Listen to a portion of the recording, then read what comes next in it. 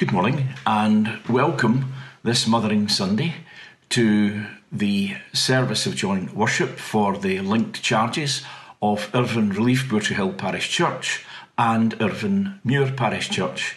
We welcome you to our service, and if you're visiting us for the first time and would like to be kept posted on future services, then please give us a contact on the follow link on Facebook or drop us an email. We look forward to worship this morning. If you know of anyone who would wish to be participating in our worship but doesn't have an internet link, then for the week after broadcast of this service, there is a telephone line shown on a slide later in this morning's presentation, which they can access for the cost of a local call. So now let us move to our first item of worship.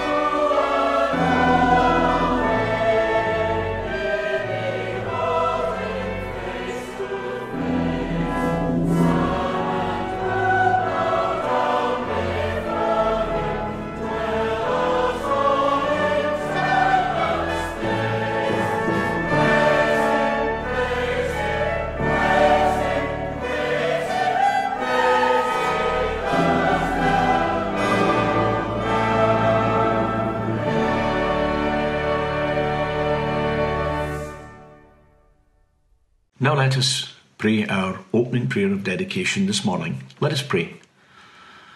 Father of our Lord Jesus Christ and life giving Spirit, we rejoice that you have made yourself known as one of creative love and tender compassion, and we thank you that we often see you most clearly in the face of a mother.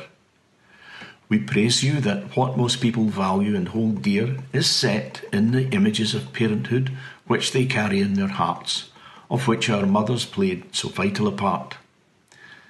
We're grateful for all the parents who share in the life of our churches, the young ones and the old, those still with us and those departed. May the blessings they gave us be rich and overflowing, and may time give us greater and greater appreciation of the special love and care from our mothers. Lord, we know that for some of us, their experiences and images of parents have been short of this, have been tarnished by absence or abuse. Help us all to remember that not all mothers, not all parents, have been able to rise to the many challenges which parenting can bring. May we find healing and even forgiveness for all the ways in which some parents may fall short of fulfilling the love they gave us at birth. We thank you that the family life of our churches gives us great blessings, that here we are gifted with the chance to celebrate births, marriages, and parenting, and the glorious unfolding of human potential. We thank you that today, Mothering Sunday, is a day for such celebration. Help us to make the most of it. Help us to use it for thanksgiving, for renewal, and for rededication. May it be so for Jesus' sake, who taught us when to pray, to say, Our Father, who art in heaven, hallowed be thy name, thy kingdom come. Thy will be done on earth as it is in heaven.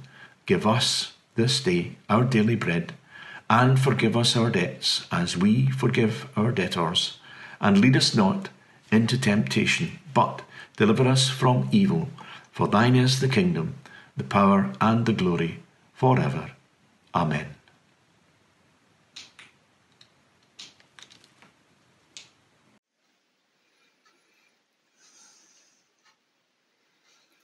Hello, girls and boys.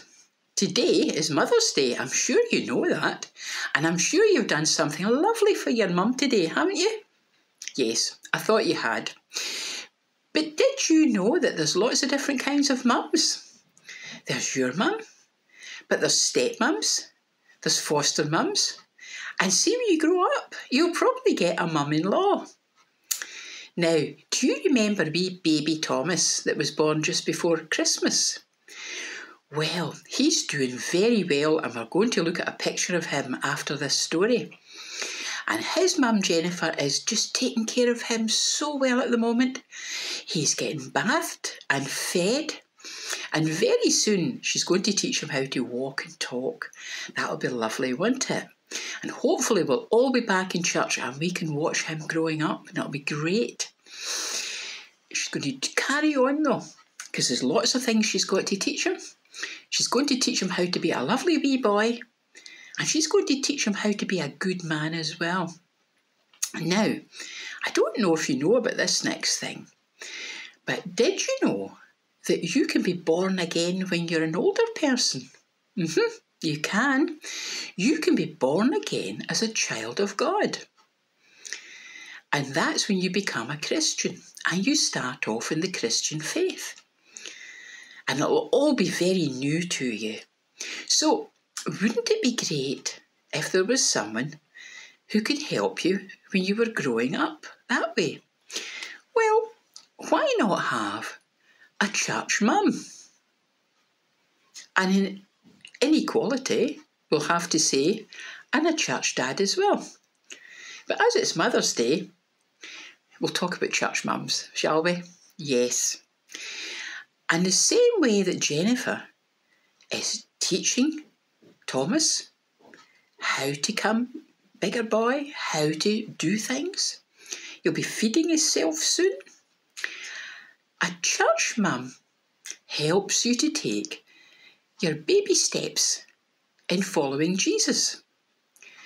And a church mum will help you up if you stumble and fall and get it a wee bit wrong. And she'll cheer you on when you're getting it right. And she'll be so happy, so happy to see you understanding about God and following after Him. And like all good mothers, church mum is like your mum. And she's trying to get you to be independent. But you'll always have roots to support you, but you'll have wings too, to fly away and see what God has for your life. But there's really exciting news now. We've got church mum, we've definitely got church dad, but there's something else. Could you be a church brother? Could you be a church sister?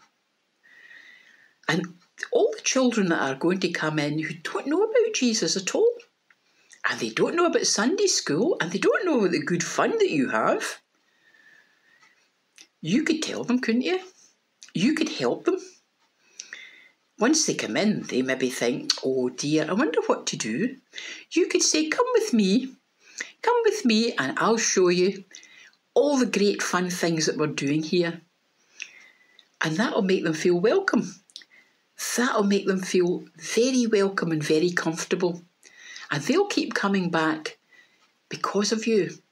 Now, I think you could do that because I know that you're a very friendly lot. So, what have we got? Well, we've got a church mum, we've got a church dad, we've got church brothers and sisters. So altogether, that makes a church family. And like all good families, a church family is a wonderful thing. It's the best place for anyone to grow and grow those wings in. So, I know you did something lovely for your mum this morning. But never forget, you've got your other family in the church. And I hope that you're going to be looking forward now to being a church brother, a church sister. Maybe some of the older people will be looking forward to being a church mum a church dad. Because everybody, it doesn't matter who they are, needs as much love and warmth as they can get. So, here's our church family. What we say now is, we're ready. We're ready for all the new people to come and join us. And we're going to have fun together. And together, we're going to be stronger. So I told you earlier on, we're going to see that a lovely picture of Jennifer and Thomas. It's going to come now, and after that, Jennifer is going to read us a poem. So it's bye bye from me, and it's bye bye from the church family. Bye bye, they say. See you soon. See you soon. Bye bye.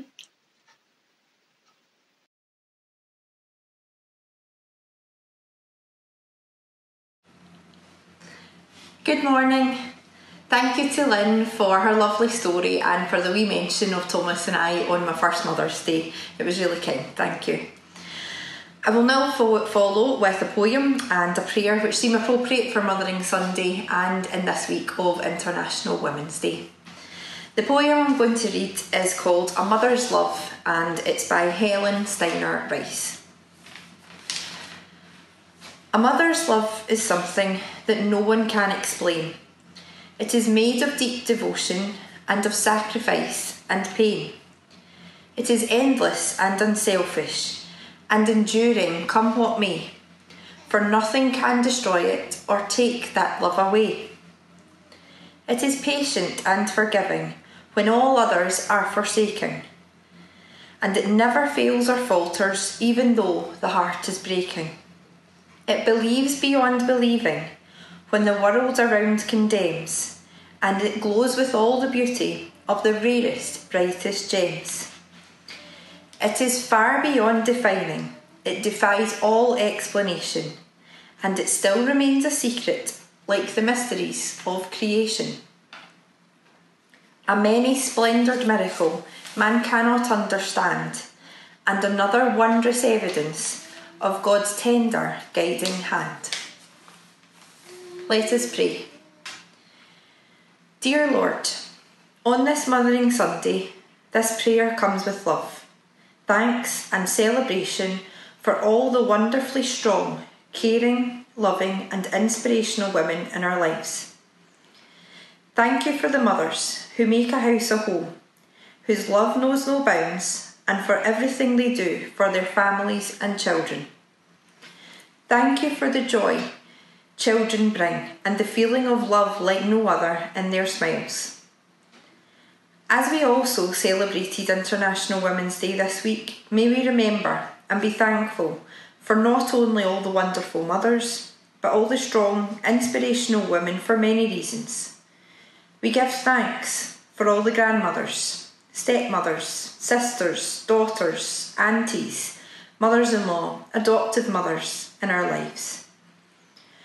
We remember in our prayer our loved ones who are no longer with us but leave lasting, loving memories, and pray for women who may quietly long to become a mother but it has not yet been your will. All of these women, in their own way and for all they do, are strong and loved and mean the world to those around them. We give thanks and pray for them. We reflect on the words of a well known motivational woman and worldly mother, Mother Teresa, when she spoke the words Do not think that love, in order to be genuine, has to be extraordinary. What we need is to love without getting tired. Be faithful in small things, because it is in them that your strength lies. Lord, this past year has taught us to be grateful for the small things in family life. Let us always be grateful for these and find strength in precious moments, and may we always cherish the fond memories with those we love. In your name we pray. Amen.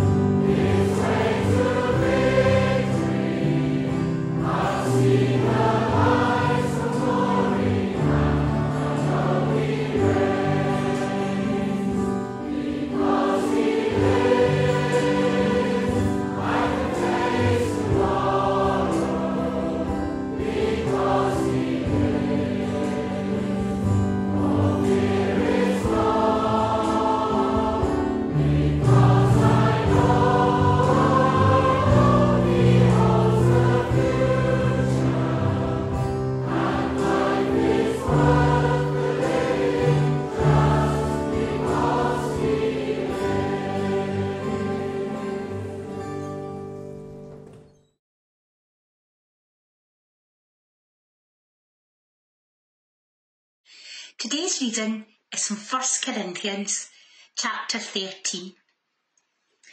If I speak in the tongues of men or of angels, but do not have love, I'm only a resounding gong or a clanging cymbal. If I have the gift of prophecy and can fathom all mysteries and all knowledge, and if I have a faith that can move mountains, but do not have love, I am nothing. If I give all I possess to the poor and give over my body to hardship that I may boast, but do not have love, I gain nothing. Love is patient. Love is kind. It does not envy. It does not boast. It is not proud. It does not dishonour others. It is not self-seeking. It is not easily angered. It keeps no record of wrongs. Love does not delight in evil, but rejoices with the truth. It always protects, always trusts, always hopes, always perseveres. Love never fails. But where there are prophecies, they will cease. Where there are tongues, they will be stilled. Where there is knowledge, it will pass away. For we know in part, and we prophesy in part. But when completeness comes, what is in part disappears. When I was a child, I talked like a child, I thought like a child, I reasoned like a child. When I became a man, I put the ways of childhood behind me. For now we see only a reflection as in a mirror. Then we shall see face to face. Now I know in part, then I shall know fully, even as I am fully known. And now these three remain faith, hope, and love. But the greatest of these is love. And may God bless the hearing and receiving of his word. I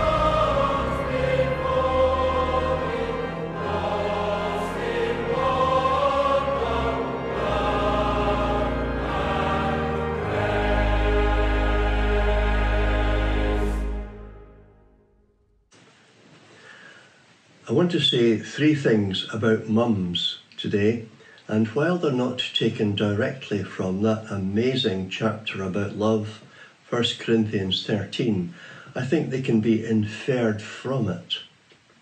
First is this mothers have the ability to pass on a deep wisdom that is learned over the years. I'm sure that's partly what Paul does in this chapter. Of course, he received a huge amount of it from the Spirit of Jesus Christ, but it's a wisdom that is usually inherited, maybe even in the genes of a mother. Often she doesn't even realize that she's passing it on. Most of us will have been blessed with a mother who had a pithy wisdom. She may in turn have got it from her mother or grandmother. It was stuff that was learned generations ago and has become part of her being. My mum had loads of sayings. One I loved was said when she suspected I hadn't really had a good wash. She said, it was more like a lick and a promise. When somebody was ranting and raving, maybe even me, she would say at the end of it, Well, that's his gas and a peep. These sayings have got into my being and have become part of me. And I'm sure that's true for most of you. Sometimes you even hear your mother's voice inside of you, and sometimes you actually say what she said. This was most likely true of the Apostle Paul. He was just a person like you and me, just flesh and blood, with a mum. In this connection, I think it's very interesting that we read in Corinthians that Paul wanted to send to the church there his assistant Timothy. And to Timothy, he once wrote, I have been reminded of your sincere faith, which first lived in your grandmother Lois and in your mother Eunice and I am now persuaded lives in you. Now, faith isn't a hand me down, it's a personal relationship we must all have with Jesus Christ. But it is so often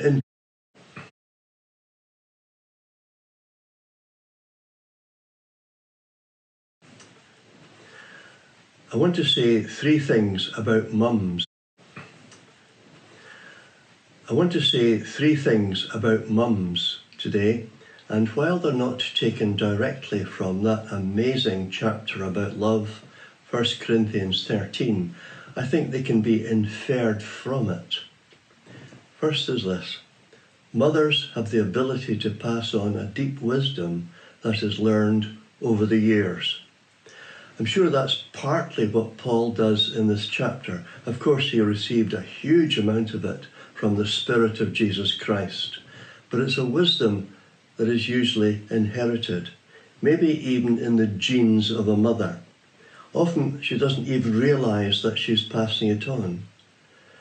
Most of us will have been blessed with a mother who had a pithy wisdom. She may in turn have got it from her mother or grandmother. It was stuff that was learned generations ago and has become part of her being. My mum had loads of sayings. One I loved was said when she suspected I hadn't really had a good wash. She said, it was more like a lick and a promise. When somebody was ranting and raving, maybe even me, she would say at the end of it, Well, that's his gas and a peep. These sayings have got into my being and have become part of me. And I'm sure that's true for most of you. Sometimes you even hear your mother's voice inside of you, and sometimes you actually say what she said. This was most likely true of the Apostle Paul. He was just a person like you and me, just flesh and blood, with a mum. In this connection, I think it's very interesting that we read in Corinthians that Paul wanted to send to the church there his assistant Timothy.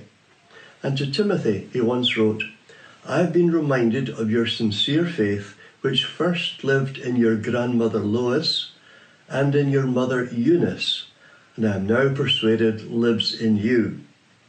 Now, faith isn't a hand me down, it's a personal relationship we must all have with Jesus Christ. But it is so often introduced and taught, and the depths of it learned at a mother's knee. Of course, it has to grow, and there are responsibilities on all of us. But a mum can give us such a, a good foundation and can fertilize the seed of faith that is planted in a young life. Today we need mums and grannies who can pass on to their children the precious spiritual truths of our Christian heritage. That will give their children all the opportunity to experience real spiritual life when they mature, and that's a precious gift. Once a visitor in the home of the famous preacher and author J. Campbell Morgan, he had noted he had four sons, and all of them were preachers too. And they were gathered together for a family meal. And the visitor asked this question Well, who's the best preacher here? Without any hesitation, they all replied, Mother. But listen, you don't need to have any children of your own to be a spiritual mum. I'm really heartened by the number of people, mainly women, but a few men too, who involve themselves in the spiritual work with their young people. Some are teaching the Bible, some are with the children doing crafts or reading stories, listening to them, giving wee snippets of advice, and no doubt pithy spiritual sayings. These will get under the skins of the young and help them to grow in the faith and help them deal with the things that stress them out in later life. So note that mothers, spiritual mothers, have the ability to pass on a deep wisdom that is learned over the years, one that enriches those who receive it. The second thing I want you to see is that mothers have the ability to bring a good sense of self to their children. In the west of Scotland here, you'll have grown up with the phrase, we're all Jock Tamson's bairns. That means we're all just the same, we're all just equal, we're all just flesh and blood. It's a great phrase, but in reality, we don't really live in that kind of world. We're very much into the cult of celebrity. And of course, few of us will ever become that ourselves. Most of us will never be known outside the circles we're in, except if something happens which thrusts fame upon us. But I've read that 50% of millennials want fame, but not necessarily as a singer or a wealthy property owner or anything else, just fame itself. of course, when television was on, the X Factor was on, the audition queues were huge. People want to be known, even if they couldn't sing a note. Why? Because we live in a depersonalizing society. We often feel we're just numbers, and so we can understand the desire for fame as a reaction against that. The worst effects of that desire are when people go for 15 minutes of it by shooting others. In this chapter, Paul is being just like a mum. He's really telling them so much that is positive. Love is patient and kind. It always trusts, always hopes, always perseveres. And that helps to build self esteem when it's taken in. Sadly, some parents are not so good at giving positive messages. It has to be said that dads can often be down on their kids. Some will even tell them they'll never make anything of themselves. Mums often have more hope for them. Let me tell you about a little African boy. He grew up in a very poor home, in a very poor neighbourhood, and he shared this home with his cousin. But although he didn't have a dad around, he did have a mum, and she must have given him some hope. But initially, he got into drink and crime and gang fights. His life was a real mess. One day it was his cousin who said, You'll never make anything of yourself. Well, he was angered by that and was determined to prove him wrong. He went to a local gym and asked a trainer if he could be taken on as a boxer. He was told to get lost because the trainer had good fighters to look after. As he was leaving, an assistant trainer said that he would train him. Just a year or so later, he won the Olympic gold medal. Then a few years later, became the two-time heavyweight champion of the world. Today, he's associated with selling grills and other products too. But actually, he's the pastor of a church, and his name, George Foreman. His message is that there is hope for everyone. Don't give up, mothers. You never know what can happen in life. Paul wants us to get hold of that message that we're not just also rans, not just Jock Tamson's bairns, we're not just numbers, but people with potential and hope and a God who is able to help us in incredible ways. We don't need to pursue fame. Rather, we need to realize that God is pursuing us with something much better, with His blessings and with His purposes and with His fabulous love described in that amazing chapter. If only we will stay long enough, if only we'll stay still long enough, we'll see it. Don't give up, mothers. You never know what can happen in life. That's a message to spiritual mums, too. But I want you to see also that mothers have the ability to show Christ to us. Mums will often do without so that their children can have sacrificial. Mums will often take a lot of battering emotionally from their children, but yet not respond with aggression. Mums will suffer in silence rather than impose their will on a family. Mums may be submissive, sacrificial, vulnerable, yet who can deny the power of a mum? Paul was a father to the church in Corinth. His preaching brought many to birth in the faith. But in his words, we see he was more like a mum than a dad. He suffered so that they wouldn't. He gave himself so that they would benefit. We know he worked hard in a, a non church job as a tent maker so that he would be no burden to them financially. But also, he was willing to sacrifice the very supportive and comforting presence of his finest assistant, Timothy, so that they would benefit from his ministry. That's love. And 1 Corinthians 13 is testament to Paul's heart and life, which was full of the greatest love in the universe. Let me illustrate Paul's love and a mother's love in these wee stories. They really speak of Christ.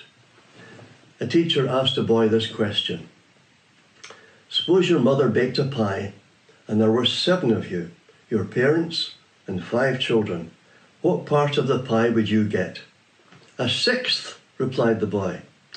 I'm afraid you don't know your fractions, said the teacher. Remember, there are seven of you. Yes, teacher, said the boy, but you don't know my mother. Mother would say she didn't want any pie. A little boy forgot his lines in Sunday school, the Sunday school play. His mother was in front in the front row to prompt him.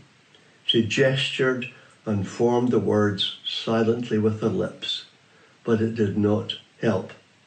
Her son's memory was blank. Finally, he, she leaned forward and whispered the, the cue I am the light of the world. The child beamed, and with great feeling and a loud, clear voice, he said, My mother is the light of the world. Now, a well known quote from the writer Washington Irving The love of a mother is never exhausted. It never changes. It never tires. It endures through all, in good repute, in bad repute. In the face of the world's condemnation, a mother's love still lives on. So reflective of 1 Corinthians 13. Remember, God's love is eternal, shown to us by Jesus, and so often shown to us by a mother. Thank you, mums. Thank you, spiritual mums. May God bless you. Now let us dedicate the offering to God. Lord, bless these our offerings that the Church, the mother of us all, might continue its work of birthing, nurturing, maturing, serving, and above all, loving people into the life that is eternal. We ask this in the name of Jesus Christ our Saviour, and our Lord. Amen. Let's come together now once more before God in prayer. Let us pray. Our loving God, we thank you for the love of our mothers and those who were mothers to us. With your own gift of life, our mother bore us in her womb and gave us life. She tenderly, patiently cared for us and taught us to walk and talk. She read to us and made us laugh. No one delighted in our successes more. No one could comfort us better in our failures. We are so grateful for the way she mothered us and mentored us and even discipled us. Help the loving heart of all mums to continue to love and give themselves to others. Strengthen them when they are down and give them hope when they are discouraged. On this Mothering Sunday, we thank you too for all who have been spiritual mothers to us and have helped us to bring us to birth as believers. Thank you for their prayers, their example, their patience. Loving God, you have given us the right to be called children of God. Help us to show your love in our homes, that they may be places of love, security, and truth. Loving God, Jesus, your Son, was born into the family of Mary and Joseph. Bless all parents who care for their children. Strengthen those families under stress, and may your love be known where no human love is found. Loving God, we thank you for the family of the Church. We pray that all may find their true home here, that the lonely, the marginalised, the rejected may be welcomed and loved in the name of Jesus. Loving God, as we see the brokenness of our world, we pray for healing among the nations, especially remembering the awful times that the people of Myanmar and Yemen are going through, and the Rohingyas in Bangladesh and the Uyghur peoples in China. Let's come together now once more before God in prayer. Let us pray. Our loving God, we thank you for the love of our mothers and those who were mothers to us. With your own gift of life, our mother bore us in her womb and gave us life. She tenderly, patiently cared for us and taught us to walk and talk. She read to us and made us laugh. No one delighted in our successes more. No one could comfort us better in our failures. We are so grateful for the way she mothered us and mentored us and even discipled us. Help the loving heart of all mums to continue to love and give themselves to others. Strengthen them when they are down and give them hope when they are discouraged. On this Mothering Sunday, we thank you too for all who have been spiritual mothers to us and have helped us to bring us to birth as believers. Thank you for their prayers, their example, their patience. Loving God, you have given us the right to be called children of God. Help us to show your love in our homes, that they may be places of love, security, and truth. Loving God, Jesus, your Son, was born into the family of Mary and Joseph. Bless all parents who care for their children. Strengthen those families under stress, and may your love be known where no human love is found. Loving God, we thank you for the family of the Church. We pray that all may find their true home here, that the lonely, the marginalised, the rejected may be welcomed and loved in the name of Jesus.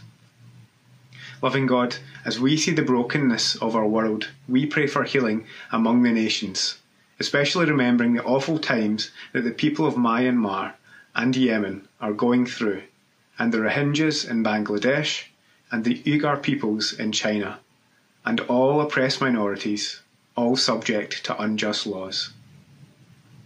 We pray for food where there is hunger, thanking you for so many that have been helped with our food banks, for freedom where there is oppression.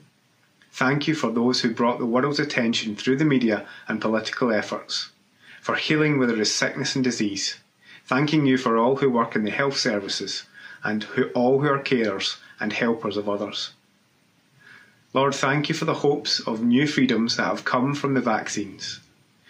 With the new doors that are about to be opened, may there be a determination to build a better world, one that is less selfish, more compassionate, less greedy, more willing to share, and less stuck in destructive ways, and more committed to the real freedom that is in Christ. May what we do bring help and healing to our world. May we never cease to bring the good news of the love of God, both in word and in action. So bless all on our hearts this day. Your glory's sake we pray. Amen. I'll conclude today's intimations at this point in our service. The phone line remains available for those who do not have access to the internet. and you can call 01294 654 696 from 11am on a Sunday morning and for the week thereafter in order to listen to our services. Prayer time continues online at Facebook during the lockdown, and that takes place on a Tuesday and a Thursday afternoon at 2pm. So please join our worship leaders Shirley and Lynn for a time of reflection and private prayer on those afternoons during the week. The chance to ask questions about the basis of union document uh, remains open and the closing date for any questions you would like to submit is this coming Wednesday, the 17th of March. So please send on any questions you may have to either the Mure or Relief Clerk. With the ease out of lockdown on the horizon and worship being possible from the 26th of March, both sessions will meet shortly um, to decide how we will go forward uh, in the coming weeks and how we can slowly move back towards worship in church on a Sunday morning.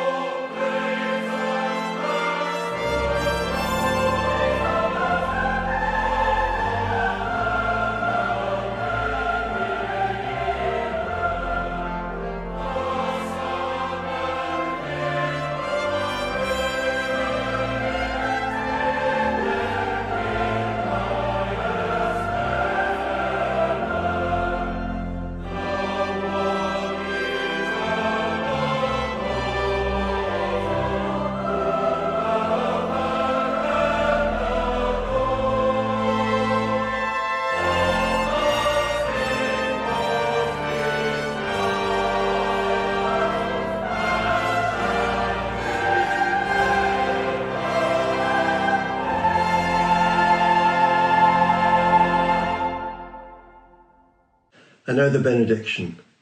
May the Lord, who brought us to birth by his Spirit, strengthen us for the Christian life. May the Lord, who provides for all our needs, sustain us day by day.